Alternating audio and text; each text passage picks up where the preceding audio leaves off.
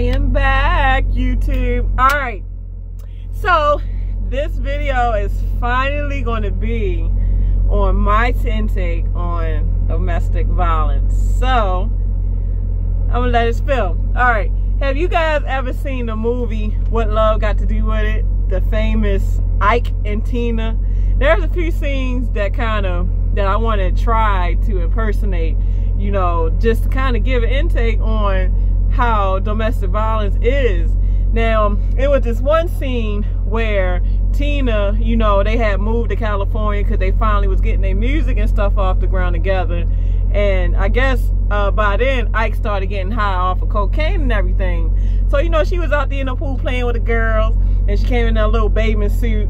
Like, yeah, I come out and play. You working too much you know, come out and play. Well, I, I got, I got, I got, I got to do, I got to do this music. Uh, I got all this money. And she's like, I know I don't owe no money to Sue Records. You the one wanted the studio. Well, well, well, I had a studio by now. If you had all them wigs and all this, that, and that. And then, uh, and then she was like, if you just, if you just sing the song the way I tell you to, Anna Mae, god damn. And then she was like, uh, well, I, I tried, but they all sound the same. And that was it.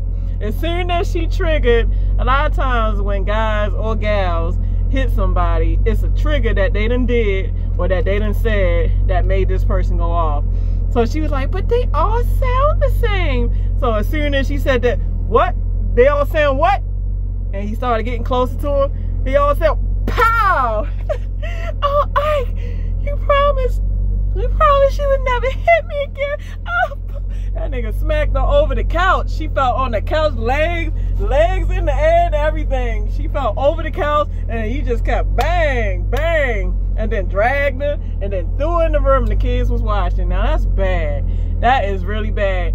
And another famous scene from that uh, movie was the cake. You know, Jay-Z done made, uh, you know, everybody done made um, songs or something with that quotation is eat the cake Anna Mae. Like he was like, God damn, oh God damn, this cake is good. Come on, try some cake Anna Mae. No, Ike. Now I'm asking you politely, and I'm saying no politely. Get the goddamn bow right in the face. And then her friend got up. And, you know, I tried to protect her friend. Like, don't be hitting on Tina like that. So he slaps her ass and she fell down. and this this movie is like kind of a movie like back in the day where there was you know like you know whites and blacks kind of races going on. So this happened in a white restaurant. So he knocks her down knocks the friend down. Bow! She falls and her feet goes in the air. She falls down like fuck you ike! Fuck you ike! You can let this man power on you but he ain't powering on me! You know what? He like, don't come around my house. And the friend was trying to hold Ike back. And he threw the cake like, don't come around my motherfucking house. Fuck you, Ike. And then uh, Tina sat down. You know, she sat down, you know, wiping her face off. And then he was like, God damn, this cake good. Come on in, hey, eat the cake. And the friend like, just eat the cake, Tina, eat the cake. so that goes to show that you know, this domestic violence. But she had enough of that shit though, because at the end of the movie, the limousine scene, when uh, I guess she was doing a nam myoho, you know, like a chant, numb your hole, renge cure, nam myoho renge kyo. So that's supposed to help her, I guess, to get confidence or whatever. And she got the confidence. So I guess she was about to perform at the um the Emmy Awards or whatever. So they had the, the uh, limousine scene, and she started on the plane when he was trying to lay on. She's like, get off me, Ike. And then she got up and walked upstairs. And he's like, get back here, Tina. You better get back here. So it went to the limousine scene. So they got in the limousine and he got in the limousine. Like, what's all this stuff? You try to tell me I teach you like he took his boot off. He took his boot off, right? He like, I show you not to ever talk back to me. So he know lift up butt up. I show you ever not to hit on me. It's like, no, I don't feel like it, Ike. I'm not in the mood today, Ike. I'm not in the mood today. so he's like, so he, you know, he tried to hit her with a boot. Then he got on top of it and jumped. You know, say say this is him on top of her. She took her foot and pushed him in the balls. And he was like, oh. And she was like, um, she was like, is that all you got? Is that all you got? So she jumped on him and started scratching him, scratched his face, and he started pounding on him. So by the time they got in the hotel, her lip was sitting out here, her eye was sitting out here. He, he had scratch marks all on his face, and they trying to get the key to the hotel, and the people looking at him like, and he uh, he pulling her, and she like, get off me. So uh, that's crazy, but that goes to show. But you know, Tina Turner, she was gullible in the beginning. And a lot of times people that are victims is because they're green. That's a, a phrase for saying that they're gullible or easy to get, you know, to control. And it's like once you get into a controlling relationship, it spirals to where the dominant person that either has all the money or all the power, they can pretty much run the person that don't really have much. So, um, I'm gonna add my story into it. Okay, I met some idiot and uh, he was actually around the way dude. You know how you know dudes be like, yeah, I had this around the way girl, or this was this around the way boy. You know, like he was known, but you know I was just getting out a bad relationship with my kid's father, so he was kind of like a rebound. Like everybody gets a rebound relationship, meaning like you break up with somebody and you get with somebody to get your mind off this person that you done broke up with. So I felt sorry for him though because like like I said, he's around the way boy. So I actually seen girls playing him. But if I would have known about him, what I end up finding out, I would have never dated his ass. Like you ever look back on some of your relationship, like I should have never motherfuck even nowhere near been with this person that I gave my time to. So, you know, you try like like you guys say you can't turn a hoe into a housewife. I can't turn no damn hoe into a house husband. So I couldn't turn this whole dude into no dang house husband, but I tried and I paid for it. So uh, you know, I end up dating him and he seemed so nice he took me out wined and dined. He spent all the time with me and all this stuff. And he made me feel so good.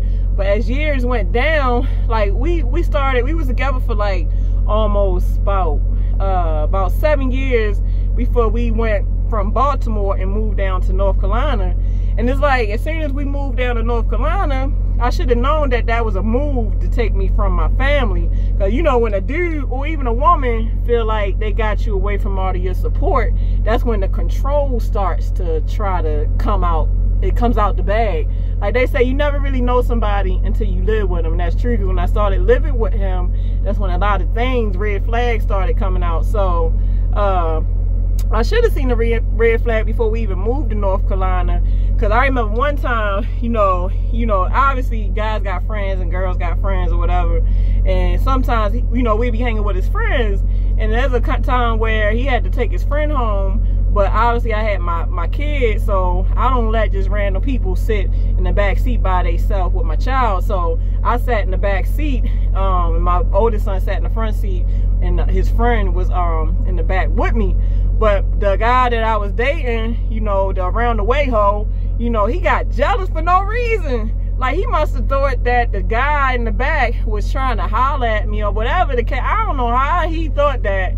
But he was one of them dudes where I couldn't even have male friends. If I had male friends, that was a problem. So that should have been a red flag right there because when we was riding in the car, he actually, like he actually stopped like skirt pulled over and drugged the dude out and started bow just started beating this dude to a pulp. I'm like what are you doing? He ain't do nothing. Like what is going on? And he left the dude like so many miles out from where he had to go like left him stranded for no reason at all because i was in the back with him. And i guess he don't like no dudes around his girl. I don't i don't know but that is shit. If you don't if you don't want your no guys around your girl then what you got your friends hanging around me for anyway? So I just don't know. But that was a red flag right there. All right, so it, there's two main incidents in North Carolina, really three, that I'ma tell that stands out. All right, matter of fact, let me see if I got one. Let me see if I got one, because I'm going to show y'all. Yeah, I got one right here. Now, what do you think this is? A lot of women, y'all know what this is. This right here, this this is a eyebrow razor and you know obviously you know you you arch your eyebrows with it now you would think this thing is harmless right but this thing is far from harmless this thing can do some serious damage and i say that to say look at my arm i don't know if y'all can see this but I'm really sharing a piece of myself with y'all. That's why I said I wasn't sure if I wanted to share. But if this story helps somebody, by all means. You see this? I'm sure y'all see this in a couple of videos. And y'all probably wonder like, damn, what happened to her arm? Because every now and then I get questions from people and maybe mainly like kids. Like kids that see me, whatever. And they'll see, they were like, oh, what happened to your arm, miss? Uh, you know, I'll just be like, oh, nothing much, you know. But I'm gonna I'm gonna end the story with the two stories. All right, it was this one time because I was in college at the time um, in North Carolina. I was going to JCSU. So obviously, when we moved down there, I had a van, but my van broke down. Them Plymouth Voyagers suck. They don't never freaking last. But you need a car when you live in North Carolina. You do. So at the time, he had his car. So since my van broke down, we we had his car. So you know, you can't play around with me. I gotta get to school. So, you know, I got to school and uh, I was taking night classes and sometimes the night classes would end a little late because, you know, I had to study because I was taking um calculus and I was struggling in calculus. Like calculus, I, I hate math. Math is not really my subject when it comes to calculus and algebra and all that stuff. So I would stay behind to get tutoring. And I guess he would get jealous because I wouldn't come home too early or whatever the case. So I think I came home maybe like an hour past the time that I would normally come home because I was getting tutoring. And I had to pick him up from his friend's house. So I went to pick him up from his friend's house and he got in the car and everything. So he made me get in the passenger seat and he got in the driver's seat. And then I forgot he was, I think he was like, yeah, where you been at? I was at school. Don't you know I'll be at school? You know I got tutoring from time to time. I called you and let you know what was going on, but that wasn't enough. So one thing led to another with verbal, and all of a sudden he tried to kick me out the car and leave me stranded. And like where we lived at was like probably like 30 miles from, you know, where we lived at. I'm like, man, hell no, you ain't about to kick me out. You ain't about to have me walking all the way home. Sure, you we gonna have to fight if you think you about to kick me out of here. So he tried to kick me out. And he actually got out the car and tried to get on the passenger side to actually drag me out. So he, for somehow, he, I think he got me out, but he didn't get me out without a fight. Like he, you know, he grabbed me, whatever. So, you know, I punched him and all that. And somehow I did end up out the car. And I you know, I, we, we out there, you know, we squaring up and all that. Somehow, and you know, I made a video about pressure points, how to knock somebody out. And I must have had my shit down here. Cause somehow his punch must have landed right up in here. And I went down for the count. That, that dude actually got in the car, drove off and left me there. That was that time. So call the police and everything. Police don't, police don't, and that's another thing too. When you in a domestic violent relationship, you have to go through hoops just to get the law to really help you out. They don't help you until something drastic, like somebody gets seriously hurt or murdered. And it's sad that the system is not set up to really help people the way it should until it's too late. So they didn't really do nothing. And um, all right, the second time was obviously, you know, we go back home to visit. So we went back to Baltimore to visit family, and obviously we had to get a hotel. And I don't even know what we was arguing for then, but uh I think we was had just came from seeing family and we went back into the hotel. And I think I said something he didn't like. It was something that he it's always the trigger, like I said with the Ike and Tina, how she said all his music sounded the same. I think I said something he didn't like and it ended up to where he tried to lock me out the hotel and I still had because he had a car runner I still had the car keys and I was like he was like man you better give me my motherfucking car keys bitch give me my car keys I, I ain't giving you shit so he tried to get up on me and I think I got his shirt I got his shirt some type of way and he like, man, bitch, get off me, get off me. And then he started swinging. But obviously, I got you by your shirt, so I got your ass now. So I think I had him in the headlock, and he up there trying to swing. But I'm like swinging on him, doing all this. And somehow, like the uh, entrance to where you, you know, you get the key in the hotel was right around the corner from the hotel. So somehow he drugged me like he was walking while I had him in the headlock, you know, walking it and they walked it back into the hotel with the guy, and it was an Arab dude. And the Arab dude, while I'm just uh, hitting him and he banging on me and I'm banging on him. And the Arab dude, get out of here with that before I call the cops. I'm looking at him. Dad, call the motherfucking cop. I'm a female. Don't you see this nigga? I mean, it might look like I got him, but shit, he hit me too. Shit. Now that time, this is Baltimore. Baltimore police don't play. Like they actually did something. Like they came that time and uh, he was like, yeah, she got my car. I said, man, this is our car. We rented the car, so you ain't about to get these keys. And at that time, they was on the woman's side. So they actually let me keep the keys, and they told him he needed to walk. So you damn right. I kept, because we was actually there for like two or three days, and I let his ass walk around like without the car for, until it was time to go back home. You want to act like a damn fool, then you gonna suffer like a goddamn fool.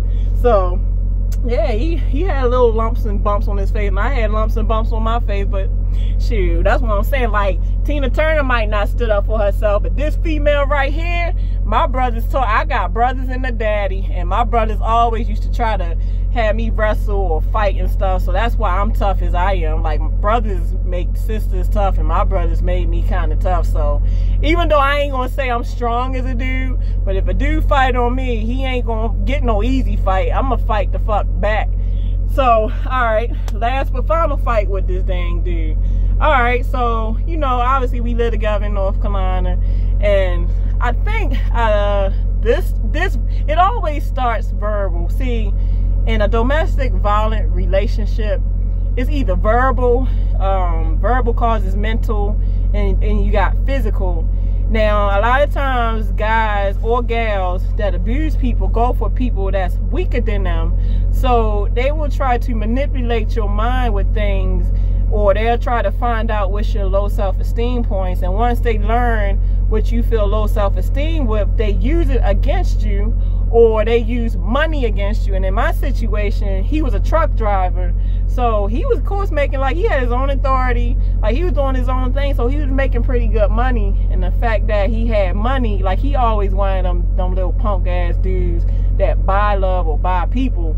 So he thought that he can buy me, but I'm an independent female. I don't want your money. Like if I'm dating you, I'm dating you because I like you for you and not for no money because the same money you're giving me, I can get it myself. I don't need nobody's money. I make my own money, sweetie pie. So you can't buy me. So it's harder to get to me that way, but he tried though.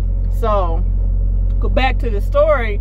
I think uh I think I said something to him about uh I think I was arguing because my son did something. So I took my son's TV from him as a form of punishment. You know, you want to be bad. You know, I take your TV away for punishment. So I took the TV to try to put it in our room. But he was trying to rule the room. Like, you need to go back because we had a four bedroom but all my kids occupied all the rooms. I said, I pay rent in this goddamn house. What I look like sharing rooms with my kids and we in this room together. This me in your room. So if I want to bring a damn TV in this room, then I'm bringing the TV in here. So obviously you see how my face look is confrontational a little bit. So I guess he got a little irate. And by that time, I was, it's more stories I'm not telling y'all to point to where it's stuff to where I've had a lot of black eyes. I've been knocked out by this dude and the busted lips. So by that time, my next door neighbor, I used to talk to them and they knew what I was going through. So my next door neighbor, and I love her to death. I wish I could hang out with her again. She gave me a taser and I had the taser um, sitting around and the kids already knew how things was and they must have heard it and somehow some way i think my middle my middle age uh, son he threw me the taser so they, he must have knew that something was about to go down so before you know it all i see like because i have good reflexes so if it's out the side of my eye the front of my eye whatever i just catch it so all i know is like Oh, so I got oh a taser, okay. I know me, I'm about to get into it. So, you know, he he got up, you know, all confronted like he's about to hit me again. So I said, oh hell no. So, you know, I'm got the taser on about ready to tase this this mother sucker or whatever. So, you know, obviously he's one of them punk dudes where he won't try a guy. He never fight. He'll back down real quick from a guy.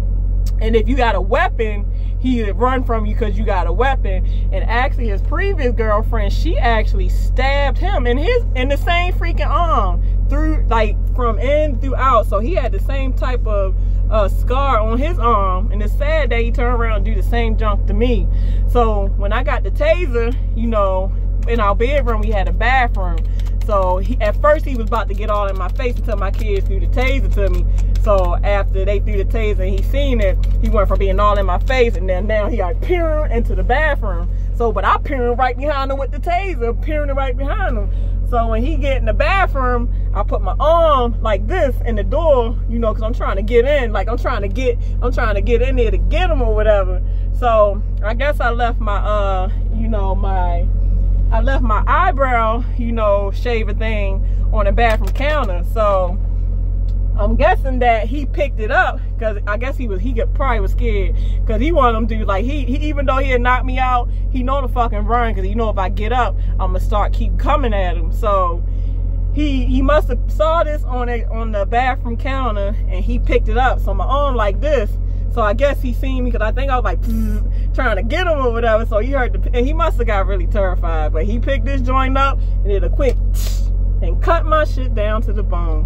When I say he cut my junk down, he cut it like from here, from here to to here. And he cut it, I mean like a fillet fish open, like how you would open a fillet fish. He cut my junk down to the damn bone. I still got nerve damage until this day and my arm was bleeding profusely and from when he cut me obviously i yanked back so he, he could shut he shut the door and locked it and then jumped out there and ran to steal my because by then he had bought me a truck. So he got out there and um you know stole my car. But that didn't stop me. Like i was still up and available. So you know i'm running out i'm running out still running after him to try to get him. But by that time when I got out, he haven't gotten my car yet. So I was still trying to get him with the taser. And he, like he was, he like six three. I'm only like five seven. So his little long legs, he kicks me and jump. And when he kicked me, it landed in my head. So I'm fucking bleeding profusely, knocked out. And by the time I get up, you know, I get up, I all I see is my wheels in the dust.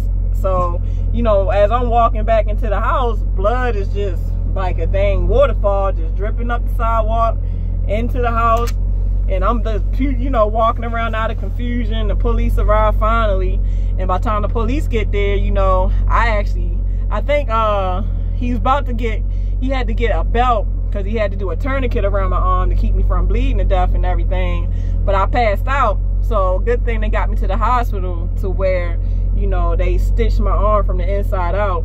But yeah, man, you can't, you gotta be careful with that stuff because that can actually have bad effects to where DSS can get involved. Because if anybody find out that you having a domestic dispute with anybody, you can actually lose your kids behind that. But luckily, you know, I didn't go back to him. I actually left him after that. And um, they actually helped me get a place. They helped me get away from him to where I did end up leaving him. But this is the last, well, there's a couple more stories I'm going to tell. But, you know, okay, let's fast forward years, years ahead. So now I meet my husband that I'm with, right? So, uh, you know, I'm with my husband and now I'm the bad guy now because now I'm so used to this fool, you know, putting his hands on me. So you, a lot of times when a woman goes through domestic violence in their head, I'm not going to never go through this again. It's like triggered like PTSD. If I see this type of whatever again, I'm going to do this and do that. So my ex, you know, he used to, uh, you know, try to talk to other females or whatever. So I don't do good when I feel like I'm getting played or if somebody is being disloyal or dishonest. Like I flips the fuck out because I'm sick and tired of dealing with it. So um, there was one time where I think uh, um, I think I found out that he was talking to an ex-girlfriend of his from back home. So we used to work at the same place together. So I used to take him to work and all that stuff. So I picks him up from work, and when he get in the car, he don't know that I'm all, you know, I done looked through his phone and I done found all the damn Facebook messages and all that stuff that he was texting back and forth trying to get naked pictures in front of him and all that. And that just fucking fueled me. I got pissed. So, all right, I drives up, you know, I drives up to pick him up. He get in the car. I look at him with a look that could kill. And when he got in the car, something was like pow, pow, pow. He was like, that dude looked like, he looked like a five-year-old that just got slapped the hell up like he's about to cry. I said, damn. And it was, I said, man, I said, you can't, why the fuck you still talking this, that, that, that? And that argument went until we got home. And then uh, it was another time we got into it. And I think he ended up slamming me on my face to where I bit through my lip. So, you know, I got a little scar right here fucking with this dude. So, it was an actual another time.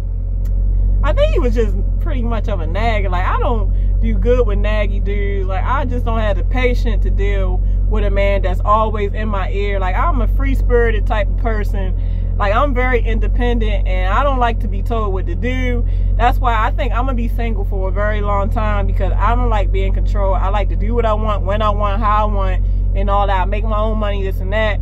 So I think it's pretty good that I'm single and I probably need to be single for a long time because I don't have time for all this where you at, who because it's like most relationships I get into, it tends to be where they want to control me or try to keep me on lockdown. And you ain't locking me down. I'm not, I mean, I'm a loyal person. Like, if I'm with you, I'm with you only. But I don't do good with being told what to do. My parents don't even tell me what to do no more. So, what I look like trying to be controlled by you? Like, that just, that just doesn't work. But, like, I mean, me and my husband, we, ex husband, we actually uh, got into it before I came to prom I mean, things got so bad to where I almost didn't make it to prom because I think we was arguing about uh I forgot what it was about something and uh it ended up to where I think I started beating them with my keys or something like that. So it got to a point to where I think the police was called and I think he slammed me again. he slammed me again. Like he, like now he wasn't that tall. He was only like five three. He was a short dude, but he could fight his ass off though. Like he, he don't hit a woman, but he'll slam the shit out of one. So even though I was putting my hands on him, his reaction was to blow, like like real quick, like here, fold you up real quick, boom, like damn, okay, little nigga, you got it. Excuse my language. All right. So it ended up to where uh, the police came and you'd be surprised how they'll take a female to jail real quick. Like they took us both to jail, but they kept me and let him go. I said, I said, uh-uh. I said, why y'all let him go? Even though I guess they said I was the aggressor. So they kept me, and the good thing he ain't want to press charges because if they did, I wouldn't be working for prom right now. They dismissed it because he didn't want to pursue the charges. But that goes to show that, you know, sometimes when you go through something, it can turn you to the person that you didn't want to be. So you really got to control that. So my thing is, if you with somebody that is mentally, physically, verbally, any type of abuse, leave. Like, you can always start over. I mean, a lot of times, like with the guy, the first relationship I was talking about, when we moved to North Carolina where I was by myself, I couldn't just leave right away because I didn't have no car. My car broke down. We was living together. So I'm like, damn, how I'm going to start over by myself? I don't have no help.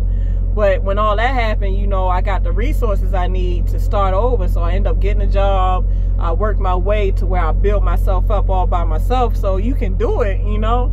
So, you know, I fought the charges off and, you know, I got that off to where my recruiter worked it out to where they got me in there. So it was it was tough though, cause it took like almost a month to two months just to go to court just to get the case dismissed or whatever.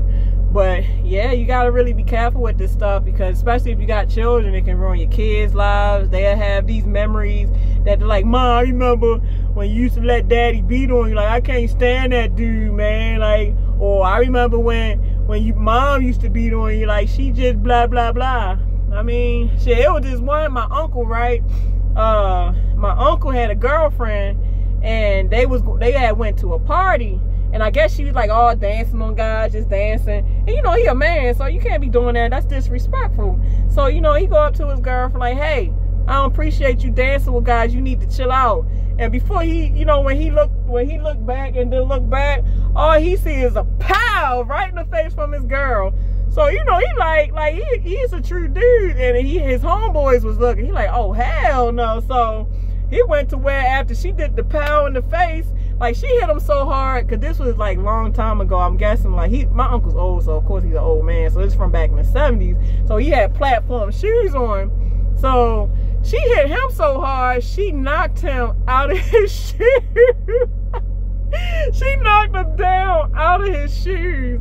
When he got up, he got up like poo poo poo poo poo poo and not like he beat like that's not funny, but it's funny. Like yeah, he, he she knocked him out of his shoes. Then I got a sister.